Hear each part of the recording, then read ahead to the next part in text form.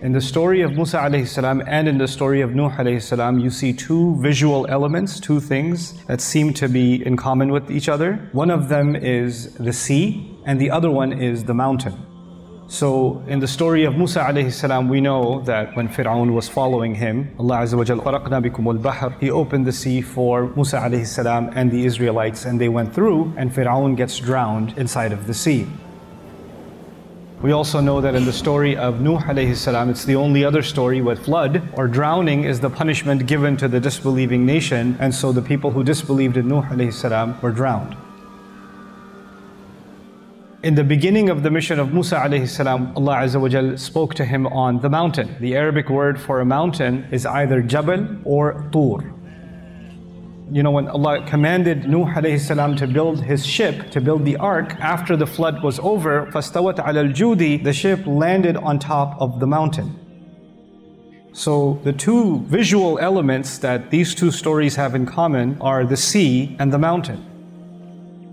When Musa alayhi salam went up to the mountain, Allah tells us in Surah Taha, Allah told him, not only is He about to give him the revelation, وَلَقَدْ مَنَنَّا عَلَيْكَ مَرَّةً أُخْرَى We had already done favors to you many times before this. And so He started reminding Musa alayhi salam, when your mother put you in the basket, when your sister was walking on the side of the river, when you were raised in the house of Fir'aun, when we reunited you with your mother so her eyes could become cool, so she could find comfort again. Then you killed someone and you escaped and we tried you in many ways. Allah makes a list of all of them and then at the end of all of them, the part of the plan was he will get married in Madian, he will go in the desert and live there for a while and then one time he will get lost in the desert and he will see a fire on top of a mountain. Maybe he can get some directions there. This is where Allah was having this conversation with him. You came here right on schedule. So all the things you went through were part of my plan so you could be here at this moment. But part of what Allah says to him also is, وَأَنَا اخْتَرْتُكَ لِنَفْسِي I have chosen you for myself. And another really beautiful thing, the thing I want you to focus on now, is he says, وَلِتُصْنَعَ عَلَىٰ عَيْنِي So you can be crafted under my watch. You know how in engineering there are stages of product development and you have to go through one design phase, then the next design phase, then the next design phase? It's like Musa salam's life was being engineered by Allah. Every one of those experiences was part of the design so you could be ready for your real mission. And in this is a really beautiful lesson that the experiences that we go through, they are part of Allah's design to help engineer us. And as Allah puts us through these experiences, actually each one of those experiences starts building our understanding, building builds our maturity, builds our experience. Sometimes you develop strength by going through pain. You know, athletes, for example, if they want to improve themselves, they have to push harder than their previous stamina to improve, right? And that's how they're being engineered to perform even better and better and better. So Allah says to him, وَلِتُصْنَعَ عَلَى عَيْنِي So you can be crafted, engineered even, under my watch.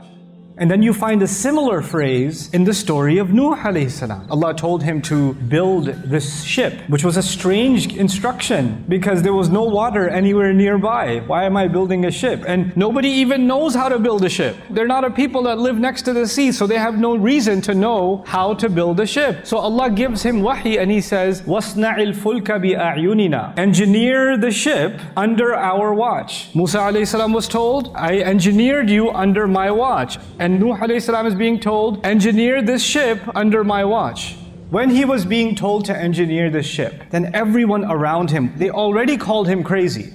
They already insulted him for many generations. But now, after 950 years, Allah is telling him, build a ship. And they're looking at him building a ship. We told you he's crazy. This is the craziest thing he's ever done. The more he builds it, the more people make fun of him. Everybody else is calling him crazy, but he's working according to the design Allah has revealed to him.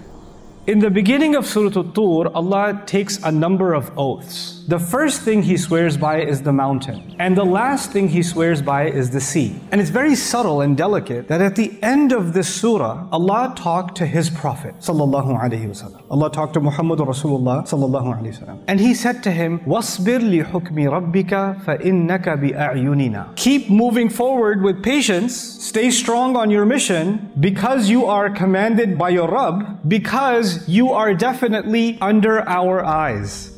The same phrase that I told you was used in the story of Musa alayhi salam, the same phrase that was used in the story of Nuh alayhi salam is a similar phrase that now Allah is using for Muhammadur Rasulullah sallallahu alayhi wasallam, and He's using it in Surah Al-Tur, in the beginning of which He made a hint towards the mountain and He made a hint towards the sea. What does it mean for our Prophet alayhi salatu wasalam? Rasulullah sallallahu alayhi wasallam is going to go through many, many experiences while he is in Makkah. And every one of those experiences is part of what Allah wants him to go through, not just for him, but actually the lessons for all of the ummah until judgment day are being designed by the experiences that our Prophet is going through. So one of the things that every Muslim, myself and yourself, should be aware of is the words of Allah that we get to recite, they're not cheap. It was a big sacrifice that had to be made, and the Rasul was being crafted and his mission was being designed by Allah with a lot of pain so that one day we can have the convenience of having access to the word of Allah. Because it did not come to us in an easy way. It came through us through the sacrifices of our Messenger وسلم, and those that believed in him. And as the Prophet وسلم, was making his da'wah and he was sharing the Quran with the people of Makkah, their aggressiveness towards him was also increasing. And the more their aggressiveness was increasing, the time for hijrah was also coming closer and closer. The time to leave Makkah was coming closer and closer. When he has to leave Makkah, the moment he will leave Makkah, the new chapter will begin. and that new chapter is not just the life in Medina, it's the chapter of adhab, punishment for the people of Makkah. And the first episode of that punishment was Badr. The second episode was Uhud, and so on and so forth. But what does that mean for you and me? When you do the right thing, when you follow the command of Allah, when you stand by the truth, when you stand by what is just, when you don't allow corruption to happen under your watch, when you call it out, whenever you do that, it requires sabr. Because whenever you say the truth, truth, somebody gets angry. If you say the truth to your mother, she'll get angry. If you say the truth to your wife, don't try this at home. She'll get angry. If you tell the truth to your brother, he might get angry. Sometimes if you speak the truth in your department, the manager might get angry. If you speak the truth in court, some politician might get angry. And so what did the Prophet ﷺ get told? Wasbir li hukmi. This is sabr actually. Sabr is I'm going to stand by the right thing no matter what happens. You just do what your Rabb told you. You keep doing that. But when you do that, it's scary. But just know you are under our eye. Allah is watching. And this being under the eye of Allah is actually a very loving phrase. What that means for you and me again is we've got to be strong. And we've got to keep doing the right thing until it becomes impossible to do the right thing. Until the very moment it becomes impossible. And when it becomes impossible, Allah will open a new door. Because Allah, that's His promise in other places in the Quran too. وَمَن يَتَّقِ اللَّهِ يَجْعَلْ لَهُ مَخْرَجًا Whoever has taqwa of Allah, Allah will make a new way out for them. A new exit, a new possibility. The idea is you and I cannot just say we stand up for justice without going through pain. You have to go through pain. Allah loved His Prophet ﷺ so much and He allowed him to go through a lot of pain. And that's an important lesson. Sabr means you have to go through pain. And when we are ready to go through that pain, then like Nuh alayhi salam, like Musa alayhi salam, and finally like even Rasulullah sallallahu alayhi wasallam, we are going to be under the eye of Allah. Allah is going to be watching. When will Allah give a new way for you? How will Allah make a new opening for you? Well, the secret is given in the surah, isn't it? سبح بحمد ربك حين تقوم ومن الليل فسبحه وإدبار النجوم. Do tasbih of Allah every time you get up. Just remember Allah in every activity. حين تقوم means basically any activity. Everything you're about to do, remember Allah first. Ya Allah, I know you're watching. Ya Allah, I know you're perfect. Do that first and then do whatever job you're about to do. And then even at nighttime, when all your activities are done, then get up in the middle of the night and then declare Allah's perfection again until the stars disappear. We connect ourselves to Allah and Allah guarantees He will bring a new situation. But it's not just dua to Allah, it's sabr, standing up for the truth and dua to Allah.